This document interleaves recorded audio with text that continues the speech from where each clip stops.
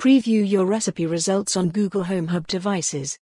Google has updated the Rich Results testing tool to enable recipe publishers to preview how the recipe results look on smart displays using Google Assistant.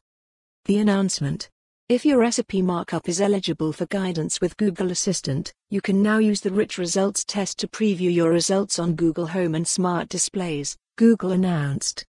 How it works Go to the Rich Results testing tool Plug in a URL that has recipe markup, then click on the Assistant tab on the left side, and on the bottom, you can select Preview in Google Home Hub. What the preview looks like. Here is a screenshot of one example I tested. Why we care.